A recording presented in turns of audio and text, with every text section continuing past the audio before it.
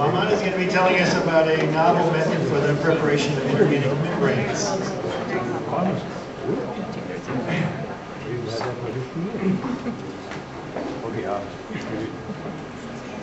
Um, this talk is about silicon carbide membranes for gas separation applications.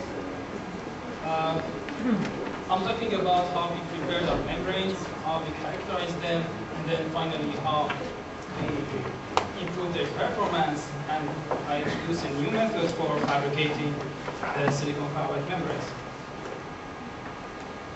In recent years, there has been increasing inter- uh, uh, interest to, to make high hydrogen peroxide selective membranes which can uh, function at high temperatures and also they are stable at high temperatures. Because there are lots of applications for such membranes. For example, the products of coal gasification that has lots of hydrogen and you want to adjust the ratio of hydro hydrogen to CO or any other mixture that you have hydrogen in it. And in long term, you can use such membranes for membrane reactors.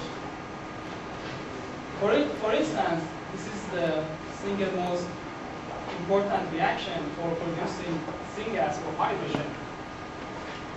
If you have a hydrogen perm selective membrane, you can take out hydrogen from one side and push the reaction in the forward direction. In this way, you can overcome the equilibrium conversion and it, have, it can have higher conversion. And not only that, if you have a membrane that can work at high temperatures, you can have the advantage of in situ separation of hydrogen. So at the end, you don't need to separate the mixture. It is in situ, so you have a high uh, pure hydrogen. So the goal is to make membranes that are hydrogen selective, hydrogen perm selective, and are stable at high temperatures. Researchers have used different kind of materials like silica, but silica is not very stable because of reaction of silica, I mean silicon oxygen bond with water or hydrolysis, the pores will be clogged when you expose the silica to steam. And zeolite, the same thing. Palladium membranes are very hydrogen perm selective, but they are expensive and because of the irreversible, reactions for example, sulfur, the property of membrane will be changed. And the other membranes are carbon molecular sieve. They are very inexpensive membranes, but the problem is that you cannot use them in oxidizing environment because of oxidation.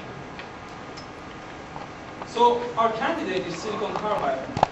Why silicon carbide? Because of its many unique properties like hydrogen, uh, high chemical stability, high thermal conductivity, low thermal expansion that leads to high thermal shock resistance and high temperature resistance for abrasion. These are the kind of properties that we need to have in high quality for membrane application. So for preparing silicon carbide membranes at low temperatures, you have two common rules. One is CVD or chemical vapor deposition, and the other is pyrolysis of a pre-ceramic polymer. The method that I used is the second one. My colleague is working on the first one. The polymer that we used is AHPCS, that stands for allyl hydridopolycarbosilane. This is the only single component polymer that can be converted to silicon carbide at low temperatures and gives you a high, uh, I mean, silicon carbide carbon ratio of close to one. And other polycarbosilane need for cross-linking, you need to add some catalyst or cure them in oxygen environment. Then you expose the polycarbosilane in oxygen, so you have forming silicon and oxygen or silica compounds, which are uh, not good uh, for steam-containing environment, as I thought. So this material can be converted to silicon carbide without introducing any oxygen. Actually, we prepared our support just by uh, appropriate amount of silicon carbide powders, resin, boron carbide, and silicon and we just made, press them with our homemade design die, and then we sinter them at a very high temperature of 1,800 degrees. In order to ca characterize such support, we just measured the porosity of the support, which is 30% with Archimedes method. And if you assume that you have just uh, viscous flow and Knudsen flow, you can come up with average pore size and also with tortuosity of the support. The average pore size that we obtained for just this support is 130 nanometers, but for the range of support that we made is between 130 nanometers to around 200 nanometers. So the pore size of the support is around in this range, 100 to 200 nanometers. In the past, for preparing membrane, we just used uh, dip coating technique, but we were not very successful to produce high performance membrane. And the reason was that because of the technique that we used for preparing supports, the size distribution was not good. It was just pressing up the tubes, so the quality of the support was not good. So if the quality of the support is not good, then you have defect. And when you prepare membrane, you have defect propagation into a structure of the membrane, so you don't have high uh, performance membrane. Actually, what we did, uh, what we did to overcome this problem, we prepared uh, a slip casting solution with just mixing our dip coating solution in silicon carbide powders, and our, according to our SEM, these powders have a range size between 100 to 200 nanometers, which is within the range of the, these particles are, is within the range of the pore size of our supports. We hope that using this slip casting as a first layer, these particles go and sit on the top of the pores and partially close them, and you don't uh, have any defects, and any propagation into the structure. After first layer slip casting, we pyrolyze the structure at 750 degrees C, and then we dip the first layer slip casted support in our dip solution for additional time, and in between we pyrolyze the structure at 750 degrees C. This is the cross-section, SEM cross-section of our membrane. As you see, the thickness of the membrane is almost 2 micrometers. And our XRD shows that the membrane is amorphous. This is the performance of one of our membranes. As you see, with increasing the temperature, the permeance of hydrogen increases. So you have an active transport for hydrogen, but for a large molecule, molecule like argon, with increasing the, the temperature, the permeation goes down. So, for example, at 200 degrees C, you have a separation factor of 54 for hydrogen over argon. With separation factor, we mean just the ratio of the permeance of hydrogen over argon in this case. But if you increase the temperature, because of active transport, hydrogen permeance goes up. And also, argon permeance goes down. So you should have a higher, much higher separation factor at high temperatures, and also higher permeance for hydrogen. This is the range of permeance and separation factors that we obtain for some of our membranes. As you see, the single gas separation factor of hydrogen over methane is something between 30 to 80, and for CO2 is 40 to 90. It's good actually this separation factor, but the permeance is low. It's a matter of 10 to the power minus 9. So we made our membranes. This is the first step. But before going further, we should make sure that the membranes are steam stable. Because if they are not, so there is no use for such membranes. So we did uh, a steam stability test on our membrane. We exposed our membrane for 14 days to 200 degrees C of um, steam. About, uh, actually was a mixture of helium and steam. And we check the behavior of the membrane. As you see, the permeance of helium just shows a small decline, but after some time it stabilizes. For argon case, the permeance is constant. So in terms of separation factor, you start a factor of hydrogen helium over argon 34, but after 14 days exposure, you have something like 24. So with this long time exposure, still you have microporous membrane, so your membrane is stable. But we need to further improve the membrane performance by improving, we mean that increasing the hydrogen per, uh, permeance and also hydrogen for, for example, other gases separation factor. This is the concept that we suggested. If this is our support, we just uh, do a slip casting as a first layer because we learned that this first layer slip casting improve the success rate of making membranes. And then we just coated the whole structure in polystyrene.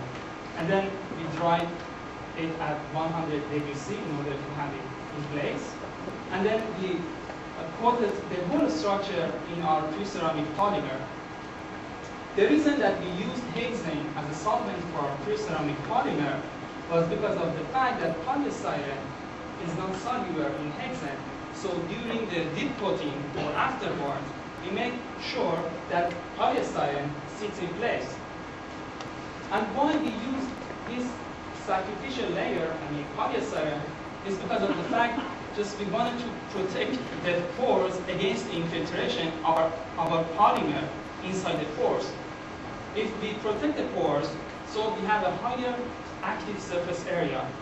And not only that, researchers have shown that polystyrene during pyrolysis releases some gases like styrene and methane that helps to have a three-dimensional structure for membrane or, in other words, have a high permeance for hydrogen.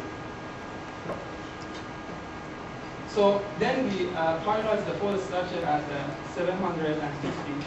But from here to here, complex phenomena happen. For example, polystyrene has a melting point of around 240 degrees C, and uh, the composition starts from 340 degrees C. And also, the cross-linking of a polymer happens in the same range of temperatures. So we need to do more research on what's happening. In order to see how polystyrene behaves, before coating the last layer of our pre-ceramic polymer, we dip coated the whole structure in polystyrene to see whether polystyrene sits on the top or not. But as you see, we cannot see any polystyrene on the top, meaning that within the resolution of, our SEM, the polystyrene is not distinguishable. It, it should be very thin, or it can diffuse it inside the pores.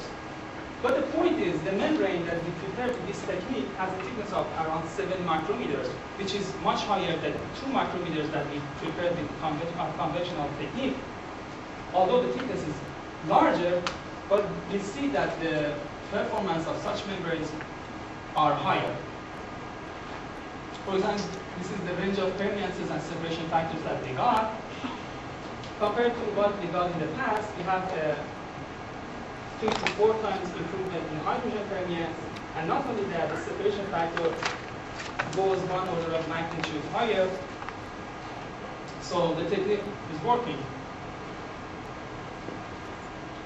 Uh, at this point, the, uh, we learned that if we use just powder, silicon carbon powder, as uh, the filler for our membrane preparation, because these silicon carbides are non-porous, then you lose some of the active surface area. For example, the gas hydrogen comes here and it cannot go through this.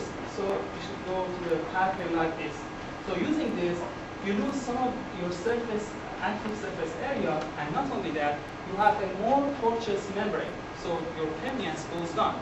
The idea that we have at this point is using the porous nanotubes that gives you the flexibility of not only preventing uh, defect formation like this, but also because, for example, it's porous on the walls, hydrogen can diffuse inside the pores, so you have actually the whole surface area active, and not only that, you have less tortuous membrane. For doing so, at this point we use the uh, template, and we successfully prepared these silicon carbide nanotubes in a hope that we just use them as a new filler to increase the permeance and separation factor of our membranes. In conclusion, we learned that first layer slip casting improves our membrane in terms of success rate of making high performance membrane and also enhancing the membrane performance itself. And silicon carbide membranes are pretty much stable in the same condition that we use. And the sacrificial layer that we propose is working and we suggest it for application to other inorganic membranes. Thank you very much for your attention.